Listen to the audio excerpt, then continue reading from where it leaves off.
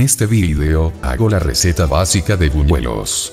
Yo le puse esta vez atún, pero podéis incorporarle lo que os guste. Bacalao, jamón, coliflor, gambas, camarones, bacon, etc. quedan blanditos por dentro y crujiente por fuera. Dos latas de atún, un huevo, una cebolla pequeña, un ajo, ramita de perejil, colorante alimenticio, sal, un vaso y medio de harina, aunque veáis un vaso. Unos 300 gramos aproximadamente. Un vaso de agua, este último iremos echando según requiera, en la mezcla se verá. Cortamos la cebolla a trocitos pequeños. Igual con el ajo y el perejil. Volcamos las dos latas de atún previamente escurrido, sin el aceite.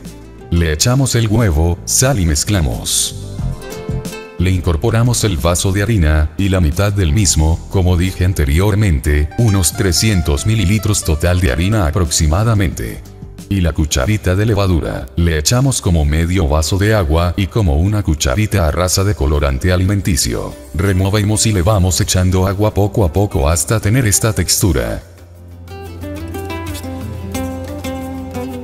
En una sartén o freidora con aceite, a unos 180 grados, echamos la mezcla con una cuchara sopera.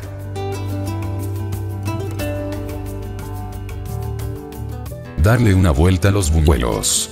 Cuando estén medio doraditos, aproximadamente un minuto a minuto y medio, retirar y escurrir en la rejilla o en un papel de cocina. Quedaron crujiente por fuera y blandito esponjoso por dentro.